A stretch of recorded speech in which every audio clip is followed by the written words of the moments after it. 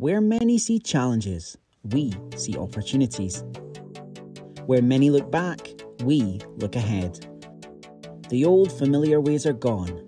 The new normal is here. We cannot know what tomorrow will look like, but as a university, we can empower our students, staff, and communities to thrive in change. That is why we at EIG put innovation at the centre of everything we do.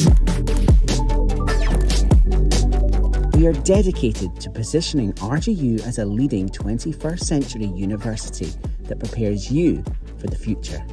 We do this by infusing innovation and entrepreneurship into every part of RGU, like designing innovation content for courses, running innovation challenges for students, or hosting staff workshops. Our events, resources, startup training programs, and accelerators provide a safe space to explore creative ideas, trends, and technologies of the future. Our 46 RGU startups, which emerged through our Startup Accelerator program, have raised over 1.4 million in investment or revenue and created dozens of jobs in the economy. All of this is made possible by our award winning EIG team, who are dedicated to making RGU a catalyst for innovation across Scotland and the UK. Here is to the changemakers of tomorrow.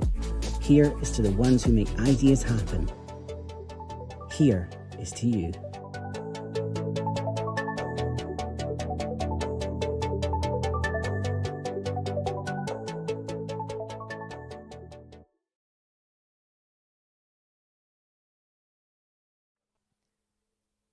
Well, good evening and welcome to the first Innovation Masterclass of the new academic year, coming to you live from Garthdee in Aberdeen. It's a pleasure to have you on board. It's been a while. We wanted to give you all a bit of a break. We were all a bit zoomed out and teamed out. But I'm delighted to say that this is the first in now a series of masterclasses that we will be putting on for you. And we have an audience in the room. Say hello, give us a wave, give a wave to everyone at home, which is fantastic. Joining us, and we're also going out live on YouTube as well. And we'll be doing that the same over the next few months. And hopefully, we can deliver an excellent hybrid event for you all. So, my name's Chris Moore. I'm the head of entrepreneurship and innovation at Robert Gordon University. And I'm actually riding high on a wave from my TEDx Aberdeen talk, which was a fantastic, it's a shameless plug, and I apologize for that, but it was a fantastic experience. I'd like to say thank you very much to uh, Murray Barber and his team for putting that on. If you hadn't seen it, uh, go onto YouTube and, and Google TEDx Aberdeen. Uh, it was a real pleasure to, say, to share that uh, red spot with a number of other speakers who did a fantastic uh, event. Uh, they were inspiring, they were interesting, and that's that's what we're kind of trying to do here with these masterclasses. So very much like the TEDx talks, these masterclasses are curated to inspire uh, entrepreneurship and innovation, share interesting stories, new ideas, and create that culture of curiosity. Now, um, I started my own business in 2000, and I've had three businesses since then, um, and they've all had varying successes. Uh, some of them have failed, some of them have, have done not too bad. Um, and tonight's theme is shining a light on startups and how to reduce the risk of failure.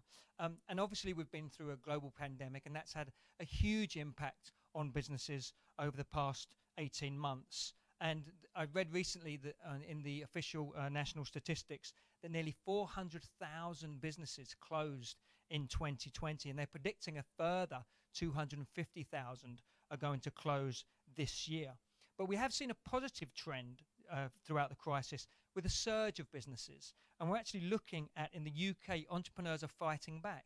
We're seeing last this year we should have 770,000 new businesses starting, which is is fantastic and just uh, epitomizes the entrepreneurial spirit of the British people.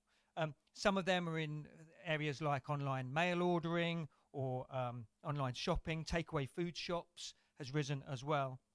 And one RGU startup that's going from strength to strength is with us tonight. So I'm delighted to introduce to you two entrepreneurial architect graduates, Ali and Shehan, who have come through our accelerator program and have successfully launched their business. And I'd like to invite them to share with you their story. Alistair and Shehan.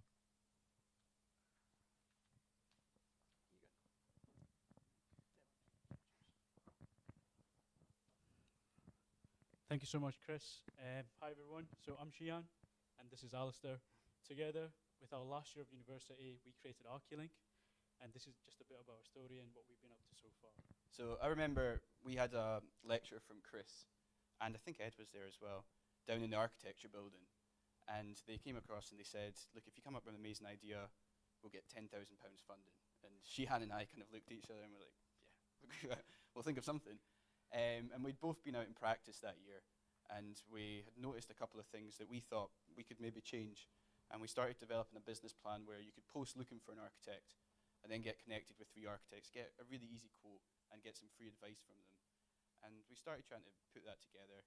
And before the accelerator window closed, we managed to get a business plan together, and we were lucky enough to be accepted onto that. So during the accelerator, the first thing we created was a Wix website. So we kind of learned using YouTube just to test if it would actually work. Would anyone actually want to find an architect online would architects actually want leads online? And that was phenomenal because we actually got such great feedback using the Wix website. Since then, we've now created an actual properly working website that's now live with over 200 architects uh, UK-wide using the service. And about 70% of Manchester architects use our service now. We've got already got organic results happening all the time now with the website. And when we first created the website, one of the key things uh, which we were paying for was Google leads and paying for like Facebook advertising, just because we wanted to drive traffic to the website. Since we've been up and live, we, we're starting to see a lot of organic results. A lot of homeowners are recommending us to their neighbours. A lot of architects are coming on, on board using the service without us having to advertise to them. While the lead generation was the main idea, and it was something we drove towards making amazing for at least the first year, we've actually found ourselves doing other things as well. Um, so we've while we were building that, we started to do site surveys and CGIs for the architects. So we used the latest technology. We used LiDAR scanners, um, and we make amazing CGI like artwork for the to show their clients. And we've kind of found over time that that's where most of our money's coming from. And while the, we've grown 200 relationships with architects across the UK, they then use us to do other things as well.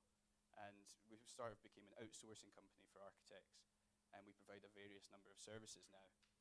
That's amazing because like Ali was mentioning, the outsourcing side, we never think we would stumble into. Because when we first met with Chris, the first idea we had was connecting homeowners to architects. That's what we thought ArchiLink was going to be. Then after two years on, we've now got different revenue streams, which we still we're still in the same uh, architecture category, but we're providing different things to architects now, and that's sort of we're, we're starting to see like daily our time's now spent doing different things uh, throughout the business, which is amazing. Yeah, we're both full time on ArchiLink, so we came straight out of uni, straight into full time on this company, and we now employ one person for the lead generation side, uh, two people for the site survey side, and one person for the CGIs. Um, so we've got a little team that's growing, and we're kind of hoping for get bigger in the future. Yeah, I mean, without the sort of the innovation team, like doing that presentation, we were thinking we were going to be architects when we graduate. We didn't think we'd be graduating with a business, so it's, it was amazing. Yeah. Thank you. very much.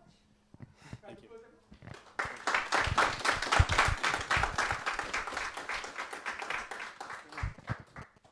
Thank you very much, Ali and Shehan. And where can people find out more about your? Is it um, the website? Do you want to? Social min- media. Archilink. A R C H I L I N K.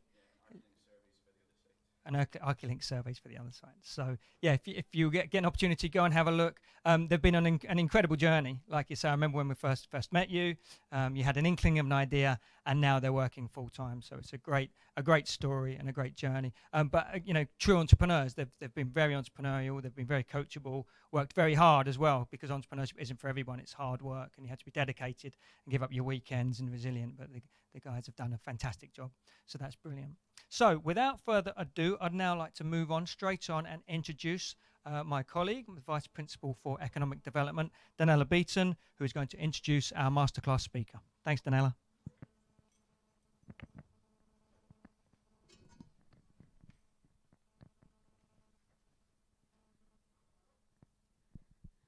Do also think after looking at the ArchiLink jackets and everything, which are now we're now, now seeing the ArchiLink T-shirt coming out from underneath the ArchiLink jacket, so lots of branding going on. Thank you, Chris, and a huge welcome both to those of you in the room here and also to those joining online as we open this uh, first of our series of RGU Innovation Masterclasses. I've been a keen attender of these events myself over the last three years, not because I have to, it's not always because I'm presenting as I am tonight, but actually because every time I learn something new. Prior to coming to university, I ran a company for quite a number of years, but every night and every event still allows me to increase my knowledge and also to take more back into the university. So, why does RGU do these events? One of the university's key strategic themes is to stimulate economic development. This has been particularly important through the pandemic itself, but also now as we work together with partners to aid recovery and also to seek um, prosperity for the region and for the nation. Innovation and entrepreneurship plays a key role in this activity, not only in creating jobs and building the prosperity, but also making a positive contribution to communities and to the social and cultural fabric of the region. Over the past three years, the Entrepreneurship and Innovation Group has advanced RGU's vision as being an innovative and impactful in university, assisting students, staff, and graduates with their entrepreneurial uh, ambitions. And through the Accelerator programme alone, has helped support 65 new startups. And on top of that, and many more through the Creative Entrepreneurship programme and the Entrepreneurship Summer School.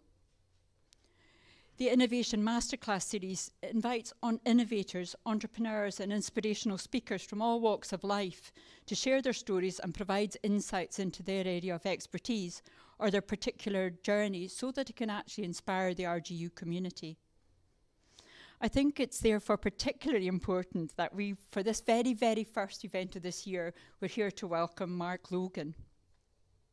Mark has over 25 years of senior leadership experience in the internet technology sector, who was instrumental in the success of multiple startups, including as CEO of Skyscanner, one of Europe's most successful technology companies.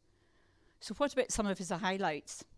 In 2014, the Institute of Directors named him Director of the Year, and in 2016, he won the UK Digital Masters Award for Excellence in General Management. He was appointed Women's Enterprise Scotland's first male ambassador in 2017 And in 2019, he was confirmed with the honorary degree of Doctor of Science by the University of Glasgow. And these, don't th- these things don't come easy. Now, since leaving Skyscanner, Mark's focus has been as a startup scale up advisor. He's an investor and a non executive director in Scotland and internationally. He's also a professor at the University of Glasgow School of Computing Science, a senior fellow at Strathclyde University's Innovation Centre, and an advisor to the Scottish Government on technology policy. In 2020, Mark was commissioned by the Scottish Government to undertake a short life review into how Scotland's technology sector could contribute to the country's economic recovery post pandemic. This is often referred to as the Logan Report and is of huge interest to universities such as RGU, but also to the wider higher education sector. Now, unlike many, Mark needs to practice what he preaches, as he has been asked now to lead the government's implementation of his own review. So definitely, definitely watch out what you promise to do in the future. It's therefore our pleasure and our honour to welcome Mark. I'm delighted that he has also agreed to answer a few questions after the speech. So if you're watching on YouTube, do add some questions into the chat function. And I know that we're also going to take some questions here in the room. So, with no further ado, ladies and gentlemen, please welcome Mark Logan. Well, thank, thank you very much for that introduction and congratulations to Ali and Johan and their really inspiring story. And I wish you guys the very best with your the future of your business. So we're going to talk in the next uh, few minutes about the topic of why startups fail. But really, of course, what we're trying to talk about is how do they succeed. It's just that sometimes when you start from that question, you end up in a land of anecdote and attribution bias, etc. And a lot more startups fail than, than succeed. So it's actually easier to study why that happens and then figure out how to how to avoid that. So we're going to try and do that. But we're very much looking at this topic with a view to how do we build successful companies. And you know, there's there's obviously you know luck and flashes of brilliance and all those other things that go into being successful. But what I'd like to try and impart in our session this evening is technique, because very often a brilliant founder who has a bit of luck still fails because they lack technique. And you don't want to be a founder who learns technique through too many failures. We're trying to skip a few steps here. So we're going to talk about technique, and I'm going to I'm going to use examples from you know the tech startup world, but I've tried to, think of uh, examples that are transferable beyond any particular narrow field. So I hope that these will be applicable to everybody. And you know, be, be that a consumer business or a a B2B business or, or something else. So to, to start with, with let's consider the question of, of you know, how do we how do we know if we're on the way to success or how do we know if we're actually in the process of failing? It's all always quite obvious after the fact, but it'd be much better to know during our efforts if we're actually going in the right direction. Often very hard to tell. Let's take an example. So I think we've all heard of Clubhouse. I'm sure this is the much hyped drop-in audio app um, that exploded onto the scene in 2020. You might remember that you could only get an invitation to, to Clubhouse. You couldn't just download and start using it. So that drove a lot of interest. Now, if I was to ask the question, the Clubhouse is still, of course, a, you know, a, a active current product. Is, is it on the way to success or is it on the way to failure? Um, so, you know, if you knew that, if you if you knew you were heading for failure, you could take action. So, so how's Clubhouse doing? Well, if you look at the early data up to quite recently, in fact, you can see these great uh, apparent user figures that Clubhouse publishes, and we all want that, and that feels like success, doesn't it? That feels like this company's heading for for success. But then, just you know, a couple of months later, you start to see these headlines: Does anyone still use Clubhouse, etc., etc.? Clubhouse downloads are falling off a cliff. So, you know, how can those things both be true in more or less the same quarter uh, of a calendar year? Well, I've always found it actually quite valuable to use Google Trends to figure out if a company's succeeding or failing, because you know, Google Trends will, will, of course, I'm sure you know, give you a sense for how often people are searching for this, this term. And although you know Google Trends is predominantly used on a desktop, and of course Clubhouse is a mobile app predominantly, it's a very good proxy for public interest in an app and, and for organic uh, you know new, new users coming into into a product. Now, if we look at Clubhouse, for example, it's a pretty mixed picture. We can see a you know bit of a, a spike as we come into the February period, just as those uh, graphs suggested. But then then it seems to drop, and it doesn't really seem to recover. Now, what this this picture tells us is that something's not necessarily right. But if you if you read you know what the company talks about and some of the articles that appear, it'd be very hard to discern that the company may not actually be on its way to success. Now, if I put this same chart alongside uh, another recent product phenomenon, TikTok, you, you start to see that you know success looks different from what Clubhouse is experiencing right now. So, you know, compared to TikTok, albeit TikTok's a very uh, rapidly growing application, you can see that that it's a, you know it could well be the case that Clubhouse isn't going to be successful, and we don't know the answer to that yet. But if I was in Clubhouse, I'd be very concerned. I'm sure they are. So you've got to kind of find ways to look beyond the hype and the anecdotes and the headlines to underlying structures of what tell us what, if or not we're on the way to success or, or failure. And that's what we're going to start to, to look at in this, this session today. Here's another example from a bit further back. We mentioned TikTok there. This is this is um, a, a, product from you know some time back, about ten years ago, called Viddy, which was the one of the first social media apps that tried to use video as its currency. And this case is even more extreme. You can see here that uh, using the same interest index, which again is a proxy for signups, and it's quite a reliable proxy for signups, that between uh, you know January and May of, of um, 2012, interest in Viddy just exploded. And, you know, not surprisingly, people assumed that Viddy was going to be really successful. And they were able to, you know, generate these kind of headlines that you can see here. So, you know, this is taken from uh, VentureBeat, and this was the headline: video sharing sensation, etc., etc. Rockets towards 30 million users. And at the top of that graph, I just showed you there, they, they received investment to tune of 30 million dollars. So you know, we think about the sophistication of venture capital firms and all the data they look like look at and all the due diligence they do. Um, and you know, we, we think of them as pretty sophisticated organizations. And this sophisticated set of VCs invested in Viddy at the, the peak here. And uh, the mistake that they made was that they invested in a company with 30 million registered users. That's not the same as people who are still using the product. And it's amazing how often very sophisticated investors basically fall for the hype and you know Snoop Dogg's attached to your product. What what could what could go wrong? But just shortly after um, this period, this is what happened to to Viddy. So it, it, the, the registered users were not active users, and the whole thing collapsed and disappeared. It was a very painful downhill ride. So these are quite sobering pictures. Um, we don't know if Clubhouse is going to follow this path, but very, very often companies that appear to be successful are actually on the way to be not being successful. And I think if we could understand again why that is, we'd be more likely to be able to take corrective actions and uh, avoid these kind of outcomes. These are more extreme, but this same um, um uh, phenomenon, if you like, happens in less extreme ways to most startups.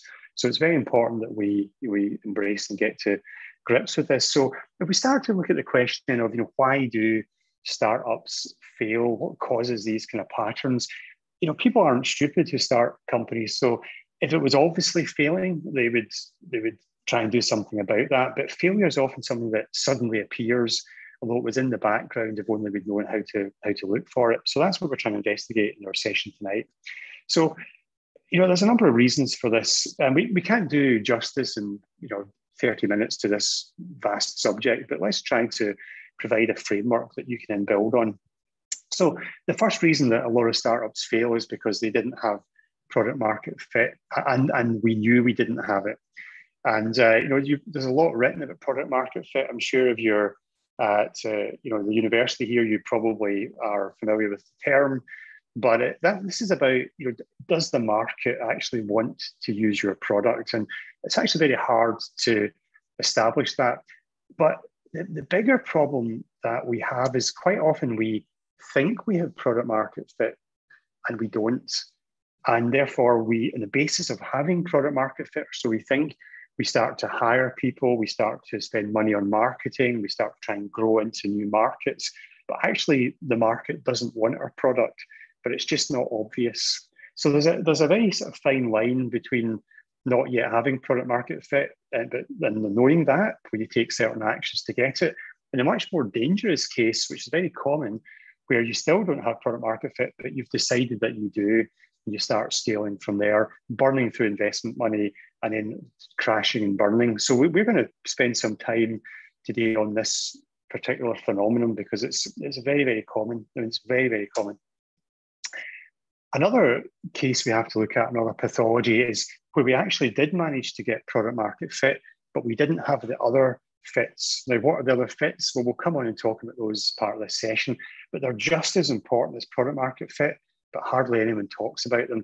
So a business might, you know, be doing well with a group of users, but it fails in the other fits, and so it eventually fails. So as a founder or member of a, a startup, you've got to be really strong on chasing all of the fits. There's four in total that we're going to talk about.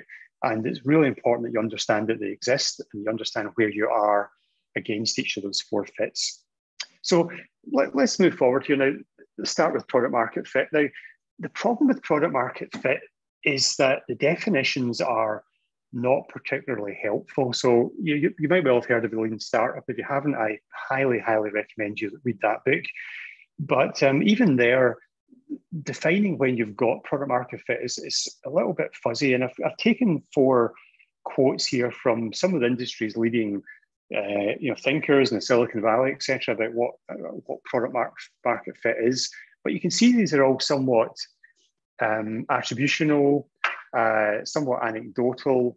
They're not particularly useful in helping you find product market fit you know, they tell you, you know, you'll know is when you've got it. They don't tell you how to actually get to it. So that means that finding product market fit is often very, very difficult for people. And what we'd like to explore in this session is how do we usefully know when we have product market fit? There's obviously a whole bunch of art and science to experimenting and building products and having product vision. But how do we know that's taking us to product market fit? You know, how do we know we're on the journey towards it? If you know we're on the journey towards it, that's super helpful in a startup. And if you know you're not, then there's still a chance to take action. So we we would love to get some systematic insight into this question of are we heading towards product market fit or not?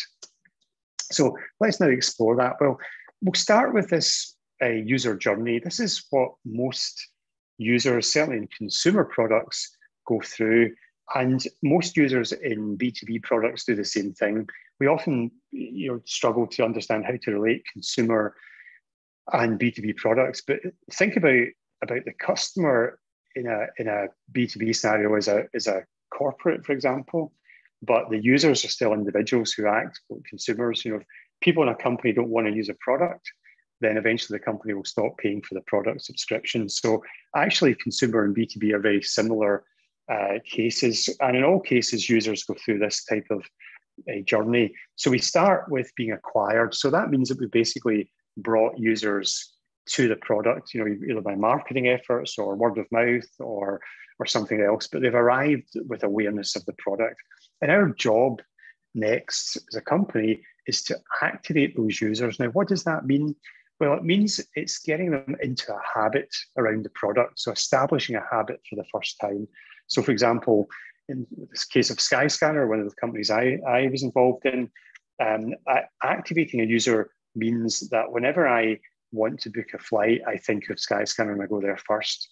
Um, if I want to book a hotel, the chances are I'll go to booking.com first. These are these are habits I've formed. If I want to talk to my friends, I'll use my messenger app of, of choice. These are habitual. We don't think about this, we just earn that habit. And it's very important that to, to keep users that we can activate them into a habit. And once we've got them in that habit, we have to retain them in that habit.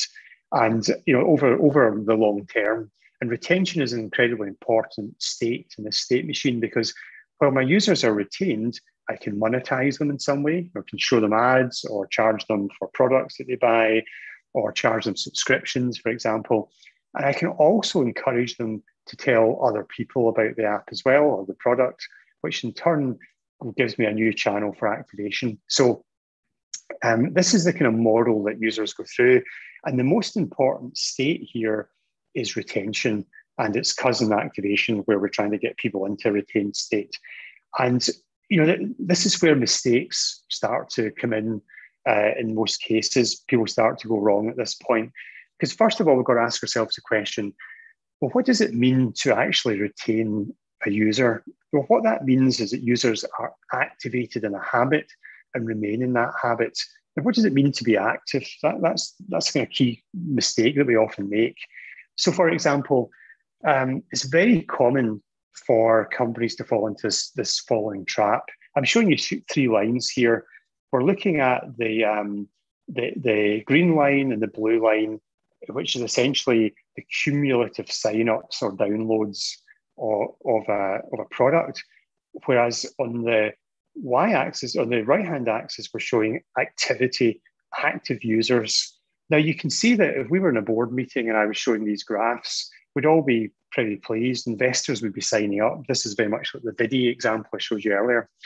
Um, because cumulative graphs, your signups and downloads, they never go down, they always go up because of cumulative graphs. So they're, they're beautiful vanity devices. We all feel good about the up into the right graphs. But for this same business, you can see here that the active users are dropping and the business is on the way to failure. So the first thing you have to do if you want to be successful in finding product market fit is understand the difference between your vanity metrics like downloads and so on and active user metrics. That's the first thing. So are people active? And secondly, you've got to have a, an understanding of what does it mean to be active. You know, it's not enough to open the app occasionally. You've, you've got to you've got to have something that's stronger, and that stronger means that some combination of frequency and action that the user does, it correlates with them still being retained in a, a year's time, for example. So first is first thing you need to do is inculcate this idea of activity is far more important than signups. And secondly, you've got to strive to think about what is our measure of activity that's meaningful and correlates with later retention. So in Skyscanner, that would have been people booking uh, flights, for example, or, or regularly searching for flights at certain frequency. Um, it wouldn't just be someone opening the app and closing it again every so often. So, you know, think about frequency and uh, particular action and which combination of those most correlates with users still being around in three, six, and 12 months. And that's essentially your active user metric. So you've got to assert that in the early days. We haven't got a lot of users, then refine it as you go forward. If you don't do that, you'll never have visibility into this yellow graph here, and you need that visibility. So with those two points established, let's now look at just how important retention is and why retention is the thing that you should focus you know, much of your attention on, even though in most startups we don't look at it at all. We look at signups and downloads and marketing activity. This graph here is showing us what would happen, assuming we had a good definition of active users and it was the right one. If we were in a situation where we never lost any users that we signed up. Now you can see here that you know, on the x-axis we have time periods, that could be weeks or months, let's call it months for sake of argument. And on the left-hand side, on the y-axis, we can see the number of users that are active. Now, even in a situation where we don't lose any users, you can see that this graph eventually goes horizontal because eventually we run out of, of new people to sign up in that market. So even in a perfect situation, we'll eventually top out. Let's now x-ray this graph and see what's actually happening inside. So same graph, but now we're looking at it cohort by cohort. So what that means is that in time period one, we sign up the users at the bottom there in gray, so about a thousand users. In time period two, we then signed up a little bit less because there weren't as many users uh, in the market. It was harder to find those that were left. And the evangelists tend to sign up first, followed by the quite interested, followed by the casual user who are not that, that interested in your product, but eventually some of them will sign up when you market to them. So you can see that as you go through time, it gets a little bit harder to sign up the next batch of users, the next batch of users becomes a little bit smaller. And eventually the cumulative effect is that we top out there. But that's that's that's all right because it's a business. You know, you've got a lot of users and um, you can make money off that. You know, Facebook would be an example of that. Now, let's now add in 1% churn, which is to say that in every time period, 1% of the users that were active in the previous time period now decide to leave the product. Doesn't sound like a lot, sounds almost immaterial, but let's see what effect that has. Well, the graph now looks similar, but you can see that it doesn't rise nearly as high as it did before, and also it starts to decline. And if we x-ray this chart, we can see that actually all of the cohorts are now starting to narrow as we go through time. So this is, I guess, okay because we've got plenty of time to perhaps open new markets, innovate in the product, um, you know, optimize the product, try and find ways to improve retention, bring some users back. We still have a business here, but the point here is that even with one percent churn, we're we're slowly dying unless we take uh, special special measures. Now, if I was to turn that dial a bit more now from one percent to say five percent or ten or fifteen or twenty five, you can see how very very quickly the picture becomes quite catastrophic. So if in every um, you know time period we lose 10% of the users uh, that were active in the previous time period, very quickly we don't have a business. And it's very easy to lose 10% of your users, um, especially if you haven't got them in to a habitual state and you haven't made that the purpose of your business. Whereas, whereas most startups are concerned with how many sign-ups can we get, how many new users can we bring on board, it's much, much more valuable, although that's important and you can't do without some focus there, to focus on how do we keep the users that we have. Because if we do that, we know that they'll monetize for us, they'll tell lots of other people about us, which will bring in its own uh, its, its own um, source of acquisition. And we heard Ali and Shehan earlier talk about how they're, they're not having to market to uh, their user base now. People are just telling their friends. They'll only do that when they're retained. So it's an incredibly important state. So this is all fine, but how do we get that foresight that I was talking about? This is all still somewhat after the fact. You we don't want to find out after 25 months that the business is dead. How do we get foresight into that problem so we know how things are going?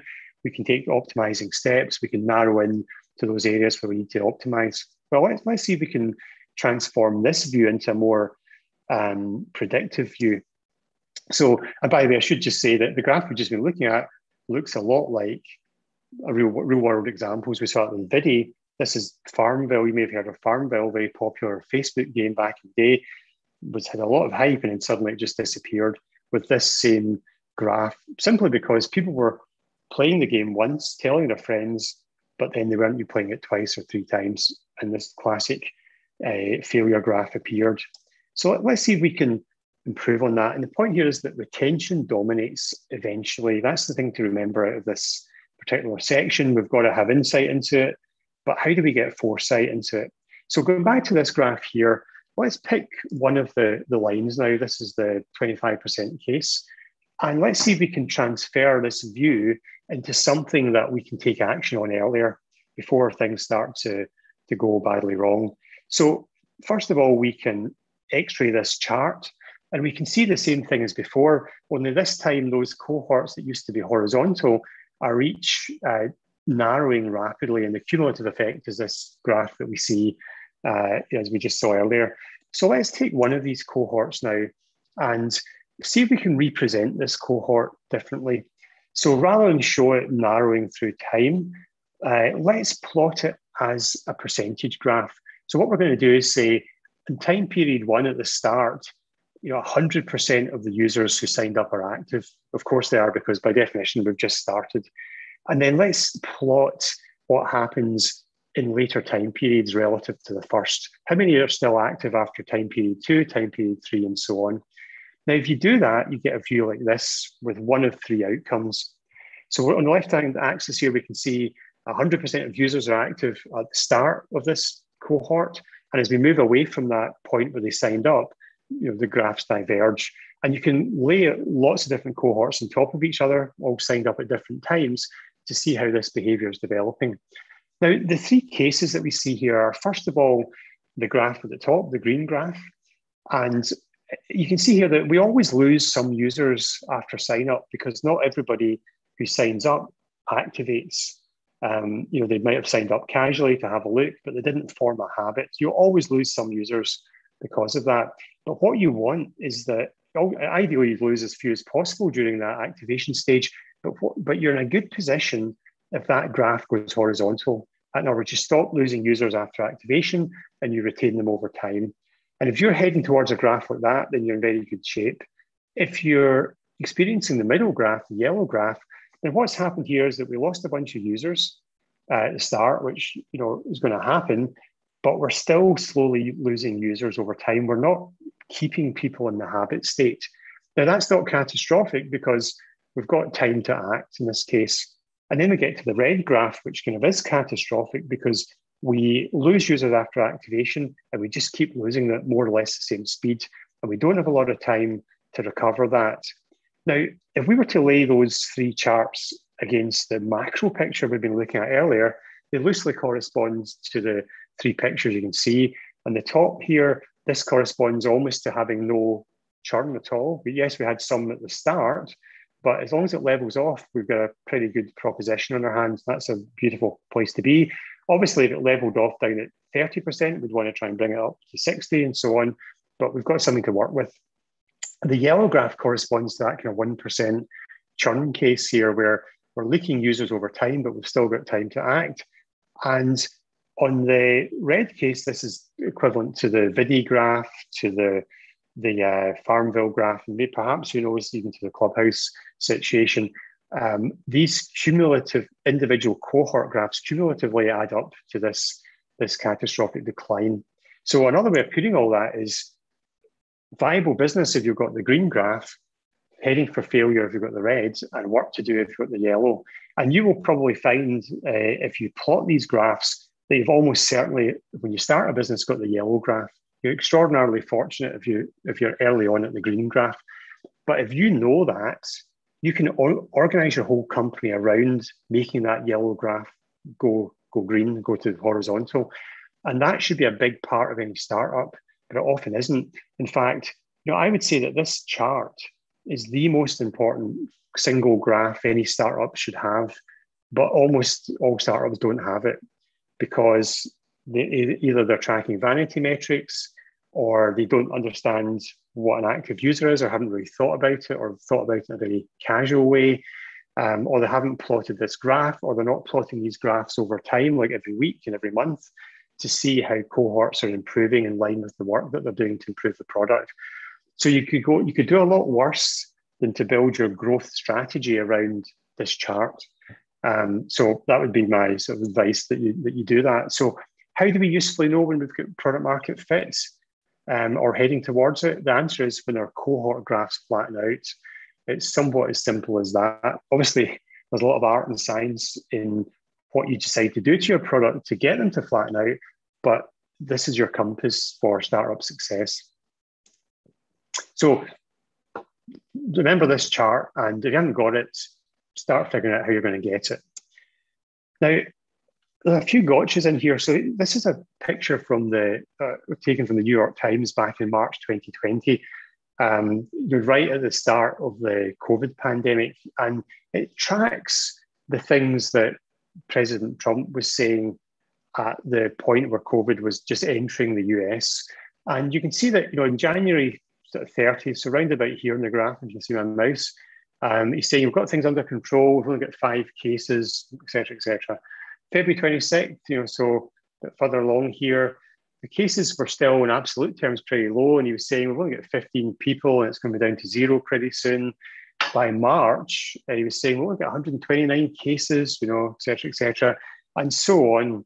So what Mr. Trump was doing, of course, is he was making the mistake of looking at a point in time and taking that as indicative of the trend because we don't hire we don't we don't handle rather exponentials very well as, as human beings. I think a lot of people fell into this this trap. Now, what does this have to do with retention? Well, we, with retention, you've, you've often got the same problem in the other direction. So here's a common scenario. Um, I'm a, a startup founder and I go to an investor and I say, uh, you know, you should invest in my company. They say, you know, what's your retention? I say, it's great. You know, it's 80, 80%. They go, 80%. I've, I've read that's really high. So you look like an investable company. Um, but let's say I delayed that conversation and had it with a different investor after three months instead of one month. They'd say, What's your uh, retention? I say 50%. That's, that's pretty good. And they say, Yeah, I've heard that's pretty good. And, I, have I've heard these conversations happen. In fact, you can be sure, you know, in the Viddy case, for example, that's exactly the conversation that those uh, sophisticated investors probably had with, uh, with, with that company's founders. But what if these are just two points in a graph like this? So that's the, that's our cohort graph we saw earlier, heading to zero. But at any point in time, it can look all right. So you've got to be very, very careful with retention. Retention is a trend. It's not a number. It's a trend. And you've got to, if you're, you know, looking at a startup with a view to joining it or investing in it, or if you're in that startup, seek the trends, not the absolute number. It can be very, very deceiving. So, how we usefully know our startups uh, on the way to product market fit or has it or doesn't is around whether or not these cohort graphs flatten out and it's around trend. And that in turn requires you to know what an active user is so that you can plot those graphs. So we've looked at two cases here, didn't have product market fit and knew it and didn't have it and didn't know it, and how we can start to get insight into that, that problem. Let's now move on to the other fits that I mentioned. So we've got product market fit, but we don't have the other fits. Now, what are they? Well, this is maybe the second most important picture you should have in front of you if you're in a startup, because it shows the main fits that you need to worry about. We've talked about product market fit already, so we won't go through that again. But you know, obviously, it's important that your product fits the market's needs. But what about the others? Well, the, the next one that's equally important, I would argue, potentially even more important at the outset, is business model market fit. Now, what I mean by business model is very simple. It's how many customers can you find for your product and how, how much are they willing to pay? So, for example, if you wanted to build a $100 million annual revenue business, just to pick a simple number, you can do that lots of different ways. You know, WhatsApp did it by having 100 million users and prior to their acquisition, charging a dollar per year after one year. That got them to 100 million revenue. That works because WhatsApp can credibly have 100 million dollars, and people are probably willing in those days to pay a dollar for a better messenger app. Not now, but then. Dropbox, you know, it can get there by having a hundred dollar annual fees and having a million users. Very hard to have 100 million users, but but for their product, a million users is perfectly reasonable to get 100 million revenue. And SAP, well, you know, they're targeting really big companies for the main, you know, 10,000 is a reasonable uh, a market they could address, and they're charging a lot more money, so they get to $100 million. These are obviously just examples. These companies have broken through these barriers and so on in different ways, but it's just for illustration. But the point is that many startups never ask themselves this question. So I've often seen startups who expect to charge a lot more for their product than people are willing to pay, or who only find you know 10,000 customers but are charging five dollars per, per year uh, directly or indirectly, and that's not going to make a business that pays the salaries. So you've got to ask yourself the question: you know, does this market sustain the number of customers that I need and the price point that I require? That's business model market fit. What about business model channel fit? Well, you know, does does the business model pay for the channel? So if you're WhatsApp and you're charging a dollar per user, you can't hire a sales team. You just can't do it because the, the revenue per user is not enough to pay for those additional um, you know users you want to bring into the channel. So business model channel fit is is equally important. And uh, it just reminds me that you know half of your product you don't own, half of it is the platforms you depend on. So, as a product team, being really good at exploiting those platforms and optimizing for them, you know, for example, SEO landing pages is just as important as the core product. And many companies, we did this in Skyscanner, we were really strong in SEO when that was the major channel.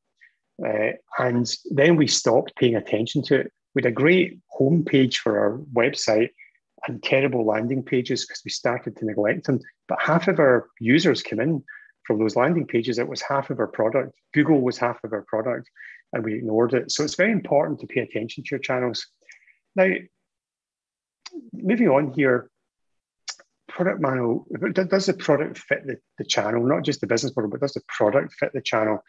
Well, if you're trying to target uh, you know, young people, for example, you know, teenagers, and you're doing that with email, that's probably not going to be successful. So you, the product has to fit the, the, the channel as well. So one way to do that, of course, nowadays is to get compounding growth, where where your users are your channel, where some users um, attract other users, and some of those new people who were attracted in turn attract other users. For example, here's Hopin, which is a product that's in vogue right now. Extraordinarily growth. How is it doing that? Well, basically through a compounding growth loop, like one we just looked at. Um, some of the, the people who attend Hopin events become organizers of events who send invites, and some of those invites get opened by invitees who turn attend the event, who, some of which become organizers, and so on round. So channels aren't just about linear, you know, spending money in Google, etc.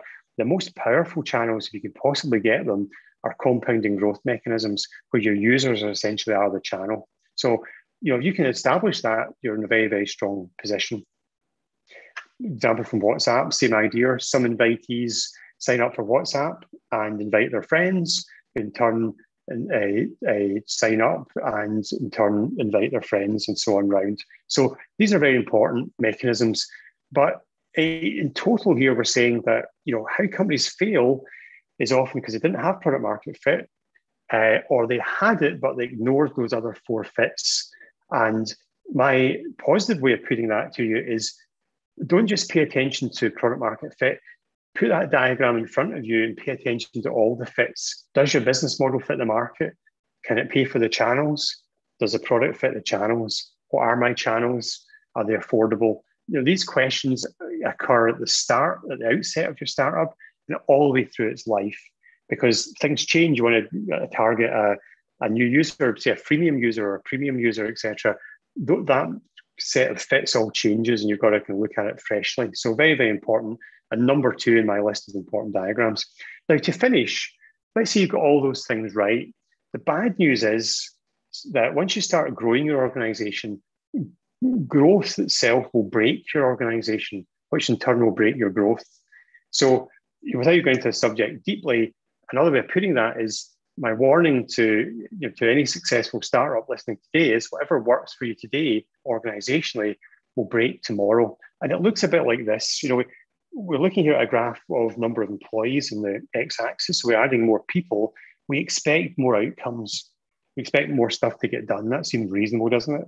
We'd love to get disproportionately more outcomes. That's the dotted line. But we'd settle for more outcomes. You know, more product shipped, more, you know, more uh, customers signed up, whatever it might be. But the reality is that you'll almost certainly get this that once you get to about 30 to 50 people, maybe even sooner, you will find that you're still adding people, but you're not getting more outcomes. This is the most common situation. And uh, quite often, companies never leave that state. You know, they, they end up uh, essentially uh, staying in that position until they they run out of investment money, etc., and die. And if you break through that stage, you'll find that the pattern actually repeats itself. And what's happening here is that your organization is really three things it's the people you have and their capacity to do stuff at a given level of scale, it's the structure you ask them to operate in, and it's the processes you ask them to operate within those structures. And as a business grows, those three things in combination tend to scale out and break you know, I, was good at managing two people, but I'm not good at managing 10 people, for example. Or our release process worked for, you know, three engineers, but it broke at six, and so on. Very, very common problem. And you end up, if you do get through those inflection points, that you, know, you end up hitting new ones at different levels of scale. In fact, I've come to the conclusion that this is actually predictable to a, a, a geometric uh, pattern here, and you can predict you're going to have the next in this graph here, for example, the next inflection point uh, at 400 people, then 800 people, and so on. And even though you know it's coming and very hard to avoid. And my, my message, we could talk about this a lot more, but my message is that if you've got the fits right, if you've got product market fit and you've got visibility into that and you've got the other fits in place, you need to be thinking now about how you're going to scale your organization because what worked for you today will break tomorrow and you need to invest heavily in time in your people and thinking about what structures you should be operating to looking at companies you admire and what they did at the next level of scale. This becomes as important as the, the thing that made you successful which was the product and getting to market. And most founders neglect this. A lot of founders are proud of their ignorance about this topic and uh, that's to their detriment. So to finish we've talked about four areas that can cause failure. And I hope I've I've given you a sense for how to turn these into things to avoid or, or ways to avoid them. And uh, you know, if you bear these in mind, if you if you think regularly about how not to fail, you're far more likely to be successful. So wherever you are on that curve, I wish you the very best uh, of luck with that. And uh, I'm looking forward to our discussion to come now.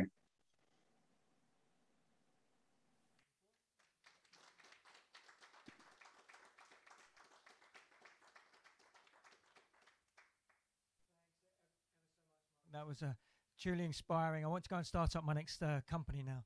So um, we do have time. You, you're happy to stay on and take some questions, Absolutely. Mark, aren't you? So we have had some a few on um, YouTube that are coming through as well. But my colleague uh, in the ID team, Graham Carter, is going to have a roving mic.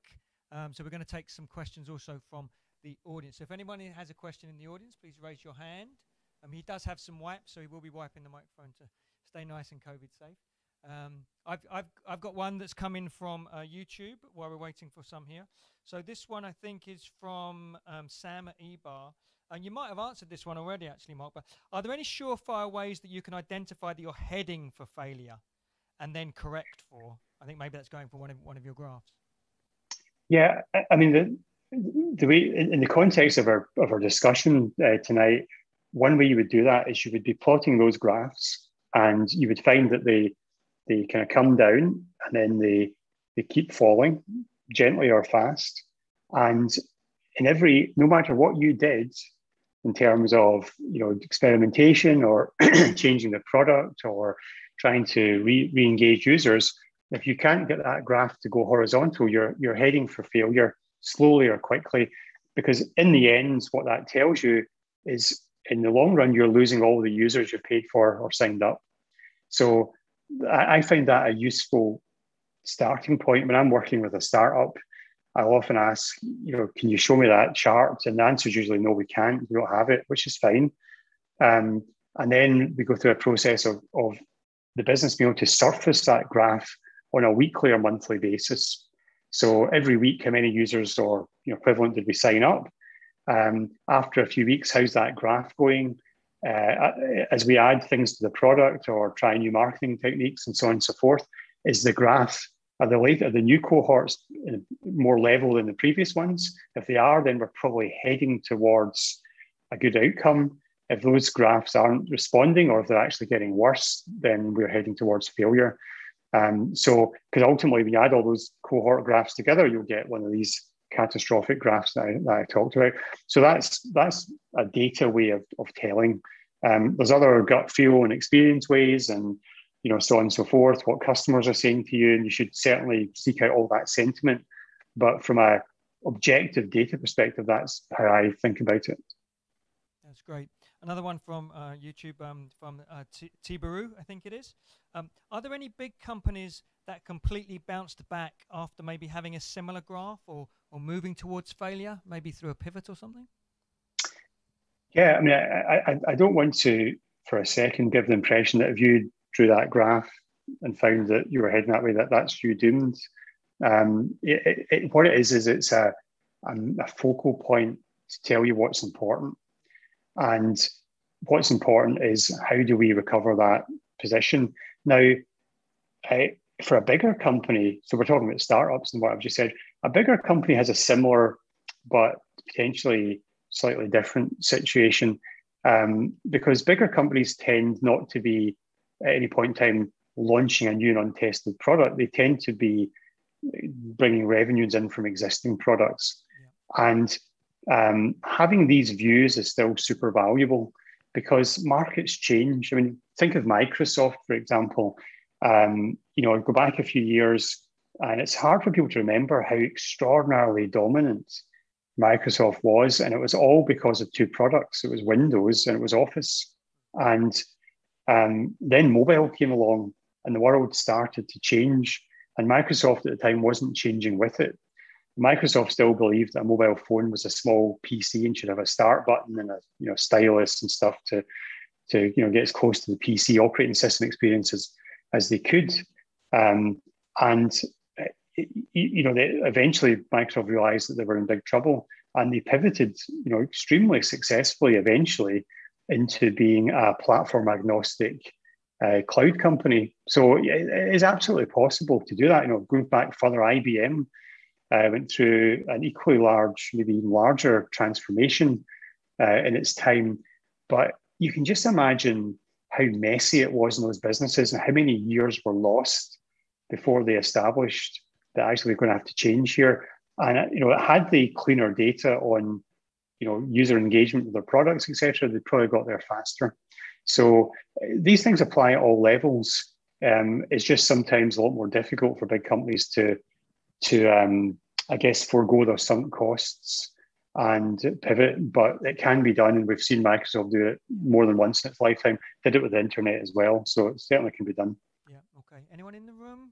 Any questions? Yeah, we've got, oh, we've got one here. Is Yep, is Shehan from uh, ArchiLink. Hi there. So one of my key questions is when, when you mentioned Skyscanner, you said that SEO was a big thing uh, at the beginning. Uh, what was the key areas that you you looked at on the website for SEO, and also looking at the Google Trends that you started off with, it showed like the people that that would search for Skyscanner or something similar. Was that something you used to begin with? Then you obviously created blogs, or what, what was the key things that you added to the website to increase SEO? So, the, thank you for the question, Sean. The, the, the thing to remember, of course, is that we're going back, you know, um, over a decade here. So SEO is still a super important channel, um, but is not as powerful a channel as it used to be because Google now has put it, you know, well below the fold on mobile and somewhat down the page uh, with its own products and with its ads. So it's not as powerful a channel as it was back in our day, but still a very important channel. So what Skyscanner did was, you know, usually you'll have you'll have one channel that's a lot stronger than all the other channels. So you've got to become really, really good at that channel. Now, essentially, how Skyscanner looked at the, the world, and I, I, will be first to say I wasn't in the business when uh, the company did this. This was way back at the start, so all credit to the, the, the original founders who did. Um, what we did back in that time was basically said, you know, how how did people search for you know for flights, and it's basically from here to there or some subset of that. So essentially, the company generated hundreds of thousands of landing pages for pretty much every combination of major city to city routes that people would take, and made landing pages of those, and you know made sure that they were indexable and so on, so that we would be uh, you know likely to be in the search results when uh, people searched for for route pairs. So that was what was appropriate to us. And the, the message there really is is that I said earlier that you know half your products uh, dependent on your on your larger platform that you depend on. You know, we couldn't build those landing pages manually. You couldn't build those by getting some people from you know from the marketing department to build a few pages. That has to be auto generated. It's a coding issue. Now you need to infuse that with best practice. You know, so nowadays best practice on, on a landing page is different than it was 10 years ago, you know, having social elements and active content, original content. These things are all scored in a given way nowadays. But if you want to really um, you know, own your niche in there, amongst other things, you have to treat it as a as a product point. It's a it's a an, an engineering problem. It's not a you know, it's not a marketing problem. It's you know it's both, and that's where nowadays you you often hear a term about growth engineering or growth teams. And growth teams are a hybrid of product engineering people and marketing people. you can't leave SEO to the marketing people. It has to be something that has an engineering underpinning because you can get it scaled. So that, that's how, how we thought about it. Um, there's obviously tactics that are readily available, you know, to, to read about or agencies can help you with. Um, but uh, I, I would think about SEO as a product scale issue first and foremost before you think about it as a marketing issue, although it has a marketing element clearly. Thanks, Mark. I think we've got another one in the room. Um, tech entrepreneur and RGU. Uh, Chamath's got starting a tech company. Watch out for a tender coming soon. Uh, Chamath, what's your question for Mark?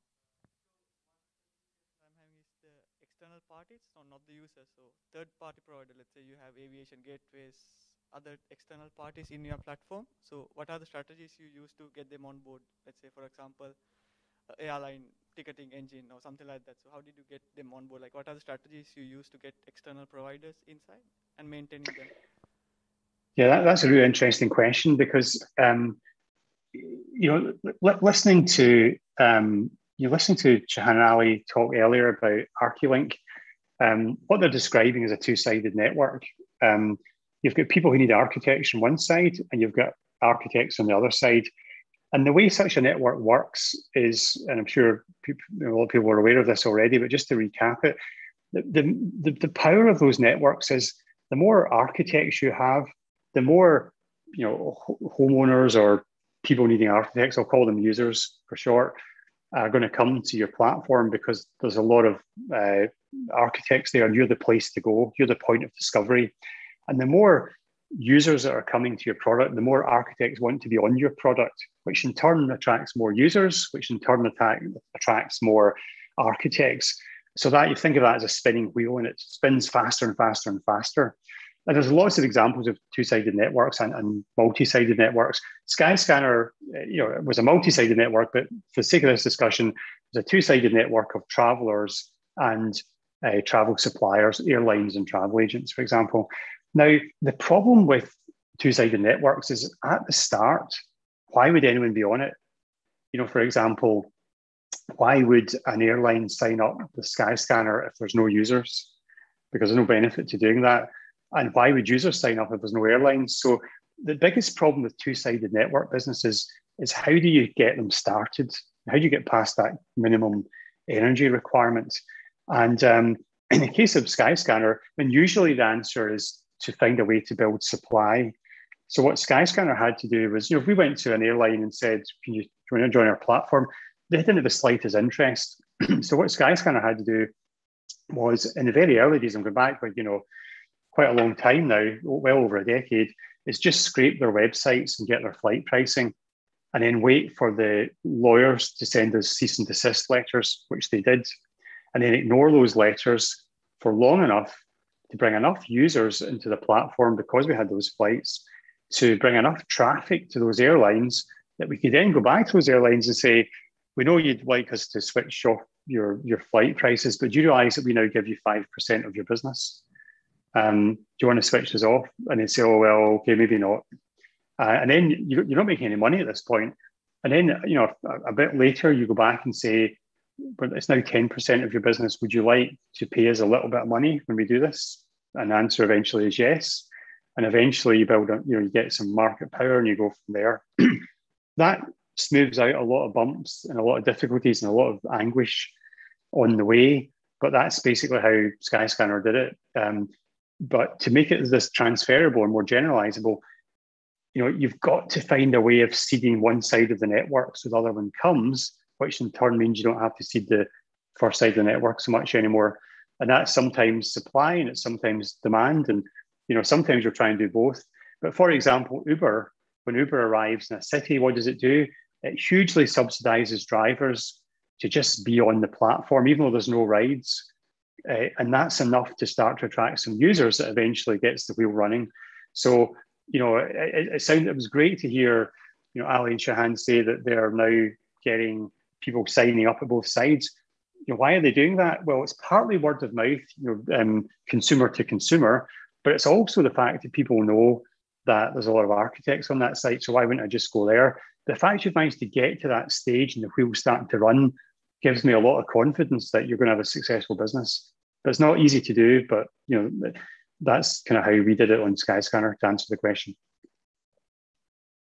I'm going to go to, to YouTube now for a, a, question that's come up on that. You spoke a little bit about the kind of product market fit, and we and we talk a lot about that in, in um, the Entrepreneurship and Innovation Group. When we're talking to our entrepreneurs, we talk about the innovation sweet spot, desirability, feasibility, and, and viability.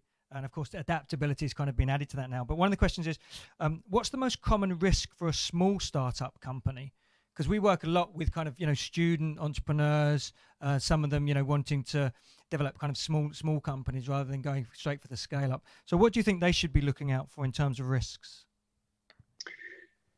Um, I mean, so I think you have to first of all be very comfortable that there's always a very high chance you're going to fail, right? There's always a risk you're going to fail, and failure is a kind of loaded term in in, in most languages. Um, it's not really failure. What you're trying to do is find out as quickly as possible that you, you people don't want your product. That that's really what the lean startup is all about. It's about saying if this isn't a good idea, then how do I find that out as quickly as possible? So, for example, rather than spend a year building a back end database and front end that's you know nicely polished, let's do what the guys did earlier and build a Wix page and see if anyone comes. And if no one comes, then no real harm done. I'll go and do something else in my life. But if, if they do come, then I'll consider how to how to you know to improve things. So I think that a, a risk that that everybody falls into or is very attractive is to not take that approach. Is to is to um, get so caught up in building the product because you enjoy building stuff that you forget that your goal is to find out as quickly as possible that your idea is a bad one. If it turns out to be a good one, that's great. But if it's a bad idea, you want to find out quickly because life isn't very long. Um, I think that's that's a big risk that you just get caught up in activities and forget that you're trying to get to visibility of product market fit as soon as possible. Um, and I, I, think the the other risk is that you you fail and you get afraid of failure, so you don't try again, uh, and that's a great loss to the community. You know, you're you're probably going to find your first few ideas aren't, aren't the best. We all hear all these stories about you know someone started a company and now they're worth five billion.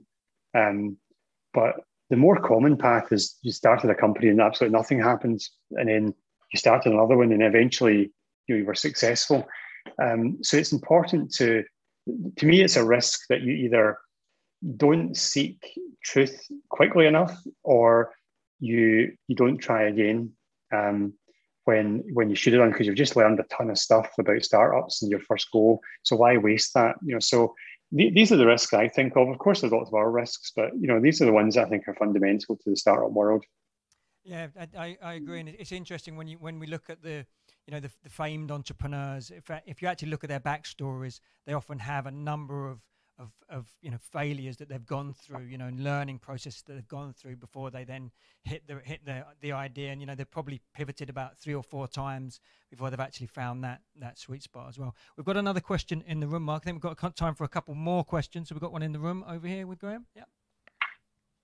Hello. Uh, so, under current economic circumstances, uh, what's the approach that you recommend that startups should have uh, towards getting their first financing opportunity or credit, taking into consideration that most of the startups uh, begin with uh, negative results during the first months or years.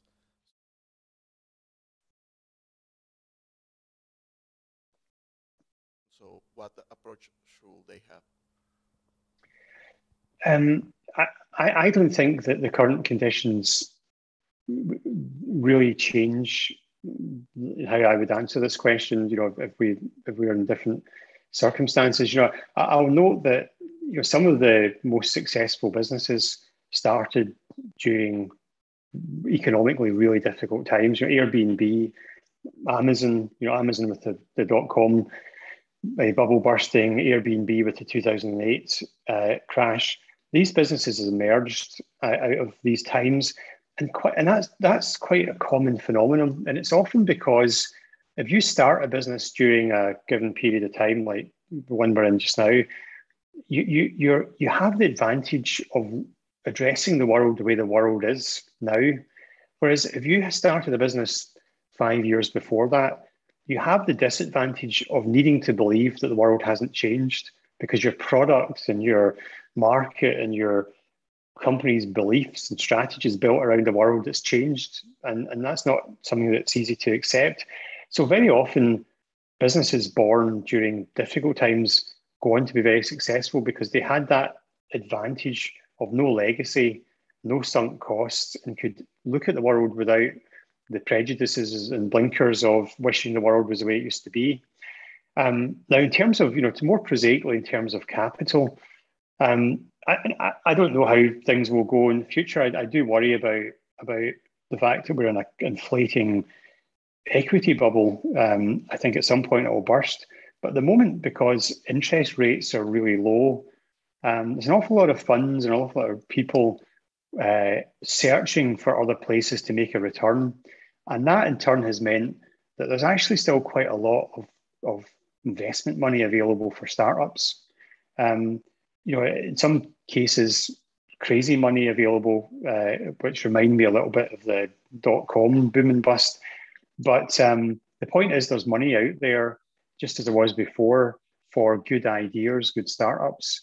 Uh, and the other thing is that you know a lot of governments, um, and you know, for example, we're in Scotland tonight, so the Scottish government is one example, have quite a lot of grants available via the various agencies to encourage and foster and accelerate uh, entrepreneurship. And those grants are still available, and they're often more available during bad times because governments correctly realise they have to stimulate, you know, a, a new wave of uh, economic activity.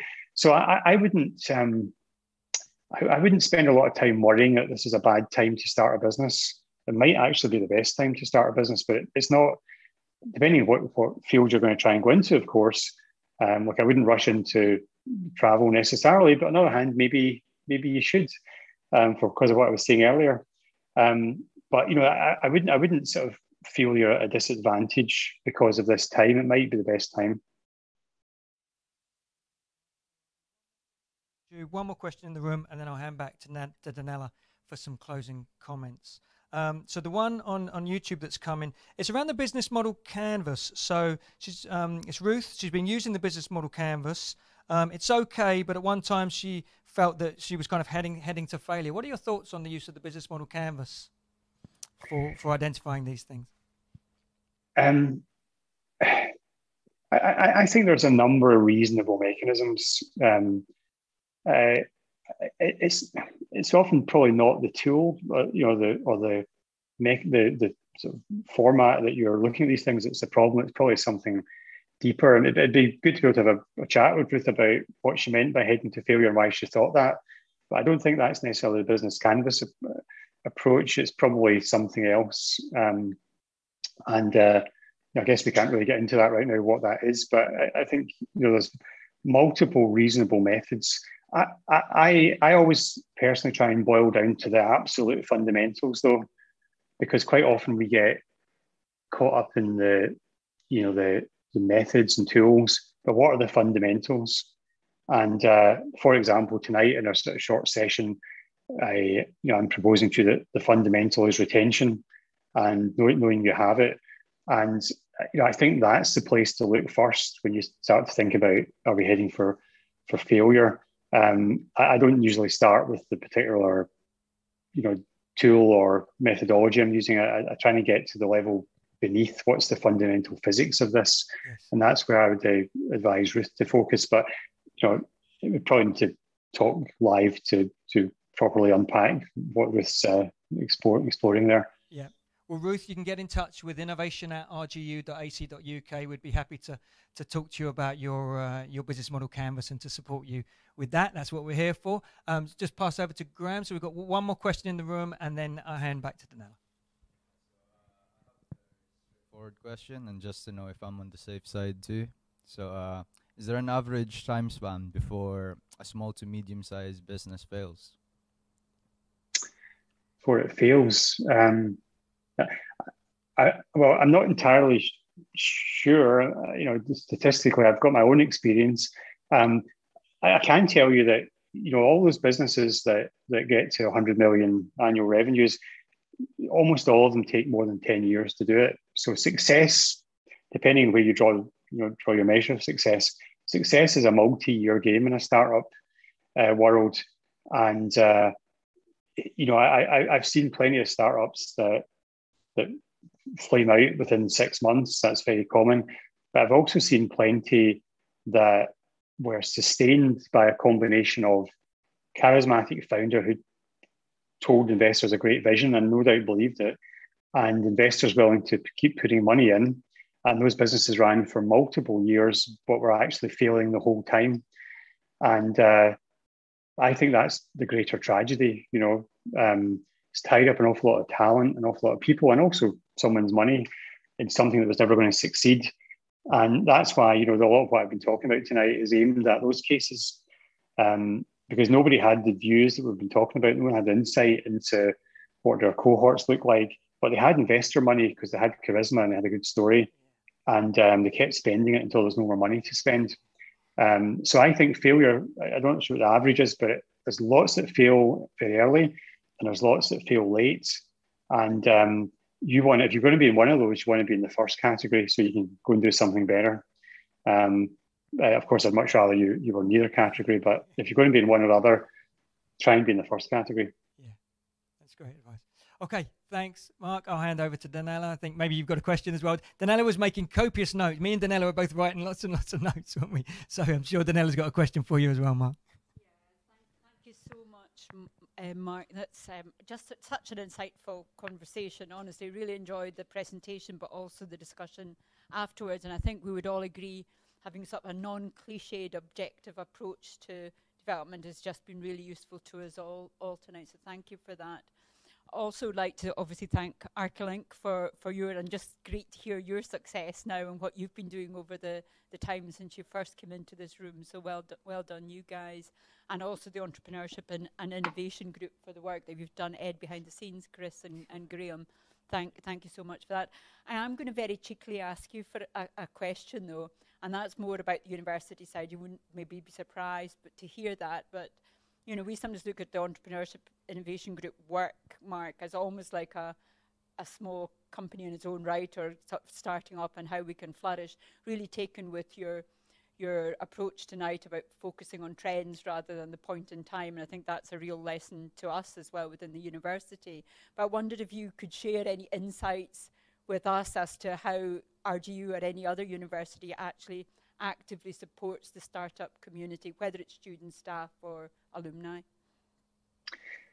Yeah, I think. Well, thank you very much, Dan, for the question. I think I think there's there's a lot of things to consider there. Um, you know, for example, um, it, I would I would love us to tear down the walls to some extent between departments, um, because in, in business, you know, innovation happens in businesses when people with different skill sets sit together literally or work together without saying, I'm an engineer, so I do code, and I'm a I'm a marketing person, so I get traffic and so on.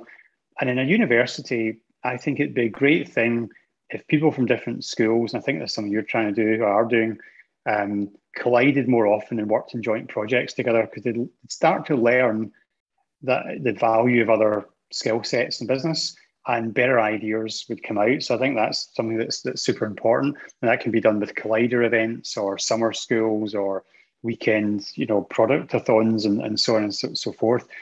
I also think it'd be great if we spent more time teaching our technical graduates some of the things I've just been talking about. And, and there's obviously much more to teach there. But don't just have really great technical graduates, have really great technical graduates who know how startups work in the modern age. That would be a super powerful thing for them to join the other companies, start their own companies, even go into large organizations and be entrepreneurial within them. I think that's something that, that should appear in the syllabus everywhere. I, I, I know a lot of universities are, you know, are, are looking at doing those things. I also think when it comes to spinouts, we should equip our, our academics for success there. We often don't give them the support they need in some of universities to go out and be uh, successful. And I, I, finally, I would love to see entrepreneurs and residents come into our universities um, so that they can sit alongside the, their academic colleagues and from first-hand experience infuse some of these ideas. Um, I think I think so. We're making the the the subject practical, not just abstract, um, as it sometimes is in many business schools. So I think these are some of the elements that go towards making a, an entrepreneurial campus.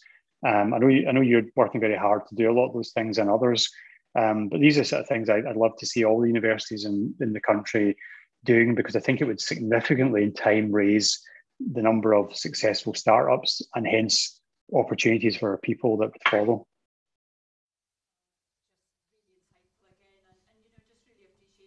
You're able to have that one-to-one conversation and advise the individual startup about the person having the good idea while you're also advising government about the future. So um, really appreciative of your time tonight and I'm sure everybody here in the room feels exactly the same about it and online also. Yeah, yeah. Round of applause for Mark Logan, please.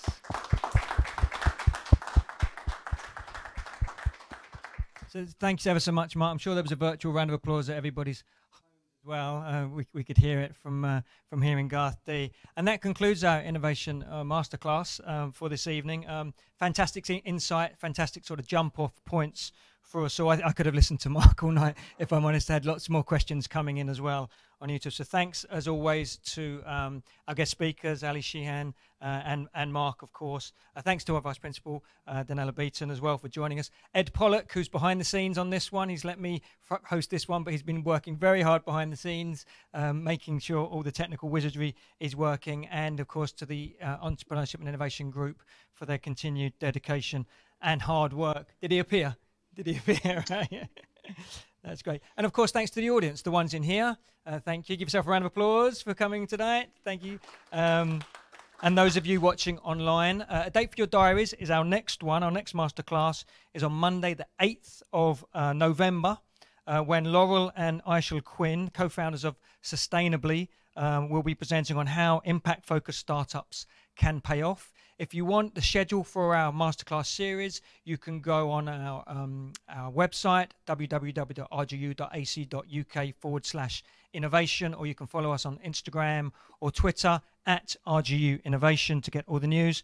So until next time, um, continue to innovate, be curious, be entrepreneurial, and most of all, stay safe. And hopefully, we'll see you next time. So goodbye from here in Garthdee in Aberdeen, and enjoy the rest of your evening. Goodbye, and thank you.